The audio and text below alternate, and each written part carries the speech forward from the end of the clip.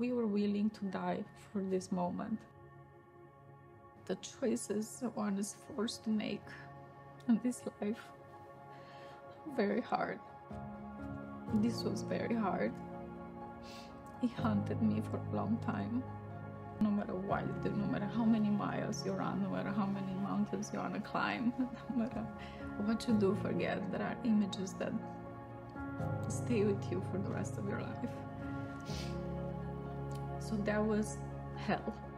I have no other word. It's what hell looks like when all humanity is gone. When people ask me, why do you run? Why do you? It helps me. It helps to clear my mind. It's so cleansing for me.